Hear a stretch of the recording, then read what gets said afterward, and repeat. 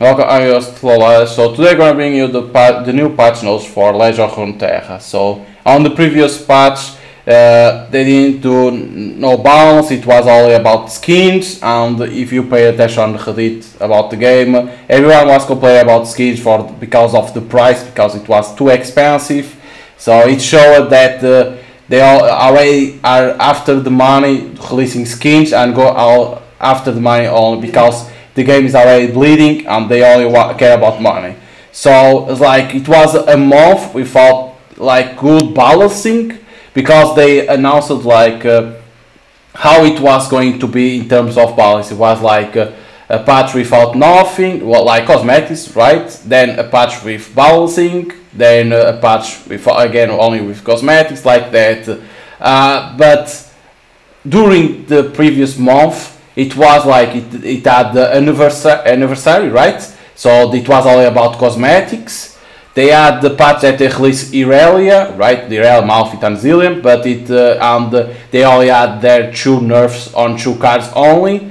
And then on the previous patch was only skins, so it was like free patch, right? It was entire month without uh, uh, balancing on the game, so it was the game got bored, right? Like in terms people for playing they didn't have nothing to do like it was always same decks to play, people of course they try sometimes to try out other decks but it's like they they don't reach to be the best. Like they will lose because there are some people that they want to be the number one on the ladder so they play with the best decks and it's like only two or three. Of course Irelia and Azir is one of the best but uh, there is always a way to fight against those decks because you, it, you need other tier 1 deck to fight against that.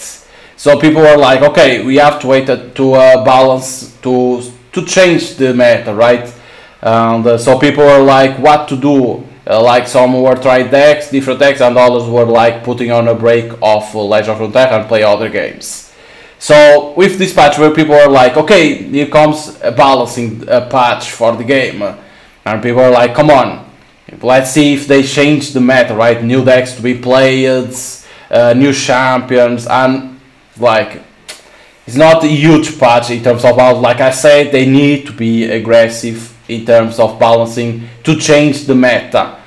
Uh, but it seems that what they are showing is that they don't care about that. It's what I see. So, card updates, we are seeing a lot of conversation in the community late on topic of live design. Players are passionate about it, and we are passionate about it as well. We believe that live design is strongly connected to our one of our fundamental beliefs, which is that every player should be able to have access to all cards and all decks without spending money. That fundamental as well as Tech unlocks our team to be able to make card plays without punishing players for past card and deck acquisition choice. Okay.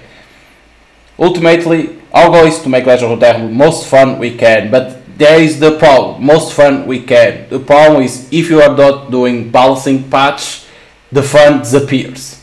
There is a mistake in there. You need all like they release patch two in two weeks. You need every patch to be balancing. One to be super aggressive and the other um, like not super aggressive again but mediocre. You need always because if you don't do a patch without balancing, the game start, uh, and people get bored. When making live design decisions, we don't focus on any single aspect. We use complex data models on card usage, region usage, win rate, deck list, performance versus specific decks, different formats, different ranks, win rates, parity, performance over time, etc. We also consider the complex model of how decks feel relative to the meta, and we survey the community regularly to learn how players feel about cards, card specific decks, types, meta game, elf game modes, cosmetics, future game content ideas, this list goes on. But uh, another problem is like if a guy that is on master, he knows how to play the game and he knows how to do with that deck. If they are using all this data, but if I'm playing with that deck that is tier 1 and I'm playing on, uh, uh, imagine bronze, like I don't understand the game, I don't understand meta, and that deck will have a lose uh, uh, in terms of win rate will decrease always. So is this a good way to see how the win rate of that deck is? No, you can't do that. You need to pay attention more. It's like you can't do see through all the ranks. You need to see on the high ranks, Diamond and Master, because there is where players know how to use those decks, those powerful decks. It's where you have to see not, oh, let's see all the ranks to see how they are behaving in there. No, because there are people that don't know how to use that deck and they will lose. So that data will not be precise. And then it's like, in terms feedback of the place. but what feedback from the place? The streamers? Of course they will say for their own decks that they want. That's the problem. The feedback, where are you getting those feedback? Because on Reddit there is nothing. I never receive a, a, a email say give feedback of the cards. So where are you getting that, that feedback? We try to focus our change to be as target as possible and avoid collateral damage or unintended consequences to decks that we don't want to affect. Making a small amount of change can have large impacts on the metagame, so there you go, a false uh, a false thing. Making a small amount of change can have large impacts of metagame, that's false. You have to be aggressive to change the meta, because if you are doing small amount of change, the meta gets stale. You saw like uh, when it was Ezreal uh, Karma in the beginning, they were doing small change and the Ezreal and Karma was super powerful deck. They needed to be aggressive to change. So immediately in here they don't know what they are saying. It's like uh, say for random things to to hurry up.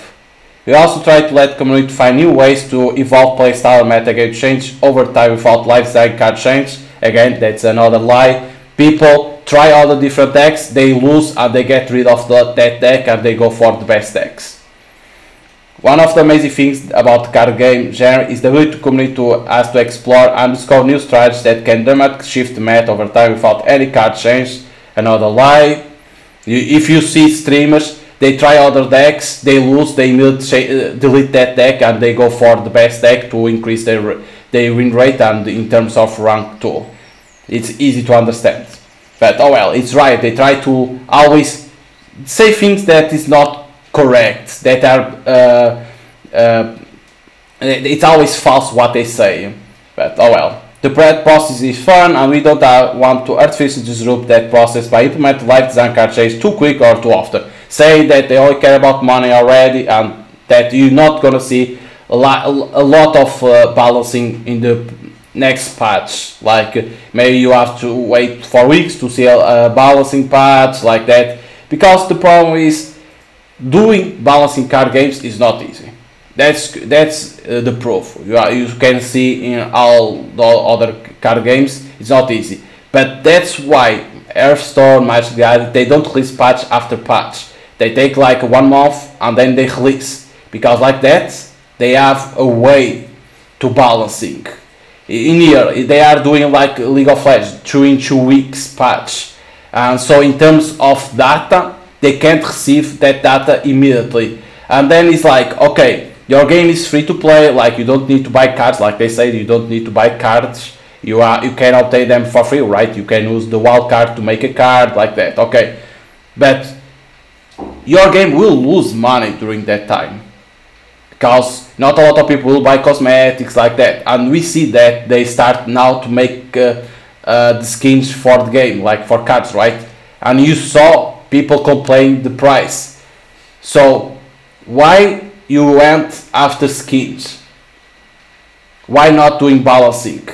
When people pass one month without balancing and people stop playing the game because they were waiting for a patch because they don't know what to do right it's like i don't understand like uh, they like is uh, it's right like they don't understand what they need to do for a game like they go after the money and uh, people are like okay let's let me play after a patch. They play like during two weeks they don't see uh, balancing and they stop during one month. What happened last uh, last month? They stopped with because they tried to make other decks and they weren't working. And in here they are lying to the to the player say oh people have uh, they find always ways to have fun with different decks. No because people start to lose a lot in terms of rank they start to decrease and they delete the deck and they go for the best.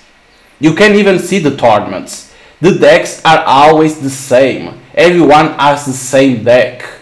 Why? Because it's the way that you need to win. Of course there is the tier 1 decks and tier 2 for the they bring like a lot of decks for the tournament, and always the tier one decks are banned. Like you could see if you saw the Europe Europe Masters, you saw that like a lot of them had the Thresh with Nasus, like everyone had the same decks. So where is the variety of decks? This is what shows that they don't understand card games. And it's the problem. Or there are times when it's clear that shades are on the side to ensure the experience is fun and exciting. And Mouth are both clear examples that they need lifetime attention. Of course, they are trash. Uh, it's an easy decision to make because so many of our inputs into decision making process clearly indicate that Taliyah, Mouth, and their primary decks are not meet our standard. Irel and Azir are not so obvious because they are different inputs that contradict each other. It, it, takes time to get information to make the decision. No, in here everyone says Irel Azir is too powerful because they are a fast deck because you are fast. But the problem, what they are saying in here is because there is people that use that deck on bronze, iron like that, and they don't understand very well what to do with the deck. They see that in terms of real rate is not higher because there are people on lower ranks that are playing with that deck. That's the issue. They are watching lower ranks instead of watching top ranks, master and diamond. That's the issue. Uh, information makes a decision. In the first weeks for of Guardians of the Ancient, we have seen Iran deck as deck rise and fall in popularity and efficacy. No, that's lie. Over time, our decision on whether or not we should make balance change on deck has shifted. We love the play pattern of Irel Azir as well as Blade Dance. We have learned that a ton of players love it too and we want to keep the feel of deck intact. However, our most recent information against deck is just too powerful so we're making two very targeted changes. We hope to maintain the fun while opening our opportunities to opportunities to, for other strategies, and to reduce the frustration of play against it. We will continue to monitor meta games as it evolves and will consider more change, change going forward if necessary. We are also learning and improving the Runeterra and our process. Sometimes we make mistakes, but we always do our best to listen uh, to all of our players and improve along the way where they listen to our players. Who knows? We are on this journey together and the community's passion and love for the game inspires us to do better. Know, thanks for seeing you back over the last few weeks. What feedback? So you are seeing streamers, is what it is. That's a shame because some streamers will want for their decks that they like more.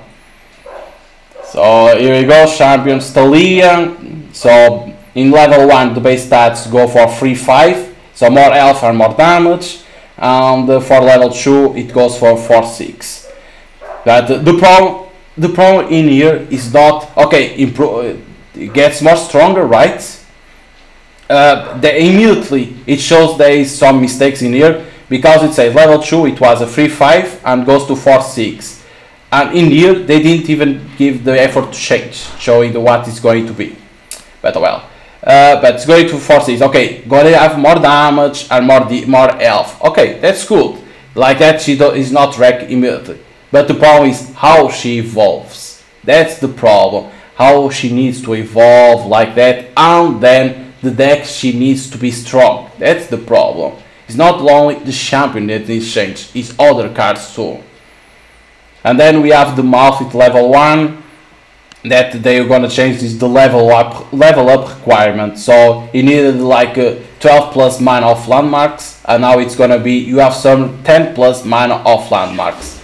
Okay, decrease in terms of mana that you need instead of 12 plus, it's 10 plus. Okay, good. You need less mana from landmarks to use. But the problem is, it's fucking landmarks. Nobody plays landmarks on the fucking game because there is landmarks that are bad almost all landmarks are bad. So why?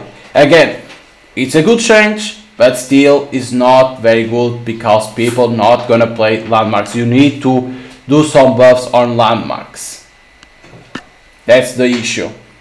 I understand that they okay level up required by like this, but people won't play because first the card is expensive. It's a seven costs, and then is you need landmarks and landmarks will occupy, occupy sp space for you so people don't want so it's like I don't understand The people from behind from balancing team on right is like, Woof.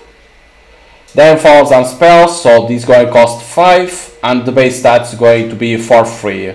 Okay, so it costs more and put more damage because a lot of people were playing this card immediately uh, because what she has. When you play the card you have the blade dance immediately.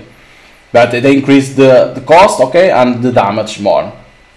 Like that is fair. And then we have inspiring martial the cost going to 6 and the base stats goes to 4 5 so uh, costs more and decrease the health okay. It's not hard to defeat at the same time because it's trying to do something on the Irelia Azir deck. But the problem okay I understand this card. Why it is? Because when you, you play the card and then when you play another it buffs the card right? But it's like uh, it's not this card that's gonna be, do the change. It's not this. Then last patch 2.9 brings new champion powers and more to Lab Legends.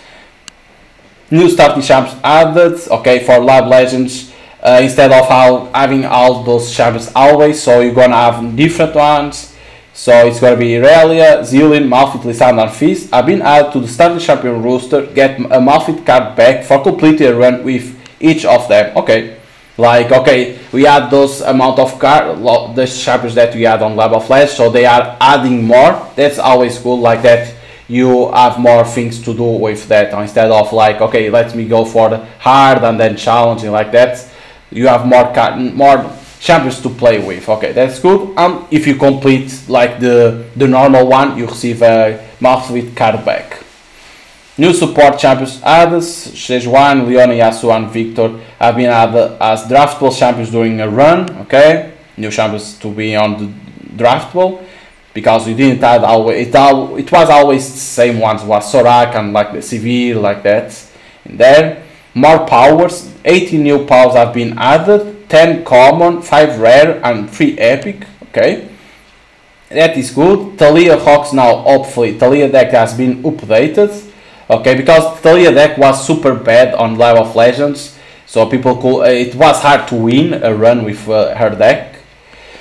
We are making a few changes to duo kill share spells as well. More deck consistency, players can now bring 0-2 decks with them run than 0-3 so they will always see any decks they bring as an option. Okay. Queue players will be given a chance to add their teammate as a friend if they are solo queuing. Okay. That's always good. And then we have miscellaneous. As an in patch 2.70 patch notes will releasing of patch 2.9.0 cross shard friend challenge will no longer be supported okay. As lore continues to grow we are beginning to run up against challenges caused by outdated tech okay?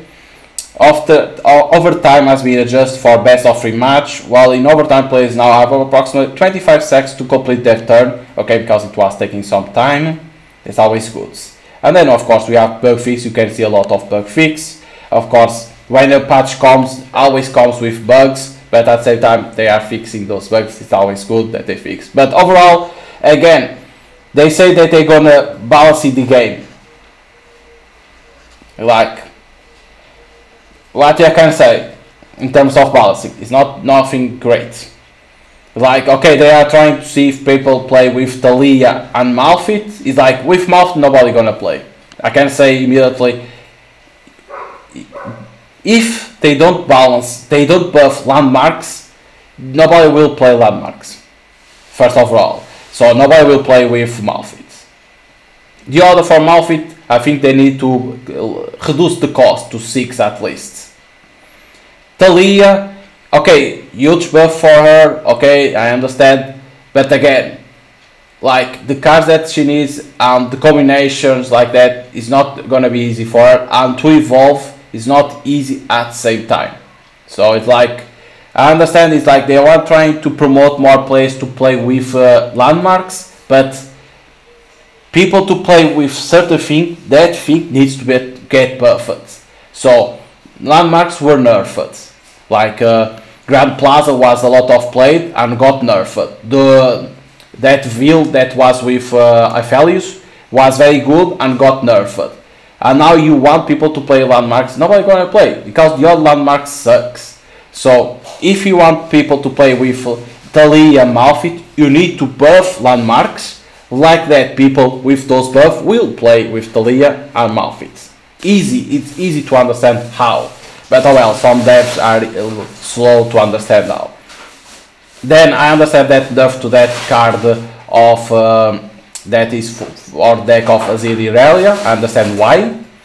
And for the other card that is for Irelia Z2, I understand why. But that's those changes will not make that deck to be uh, hard to play because the the passive the passive that the the text the what they do is always very good to it helps a lot for and uh, that's why those cards are getting nerfed but people will still play with Fidel Z because nerfing only shoot cards doesn't affect the rest. Simply what they're gonna do people are gonna do is like okay these cards cannot be played immediately. So I'm gonna be slow playing with that card, but I will play with others. Uh, so what I will say for Riot is just be aggressive.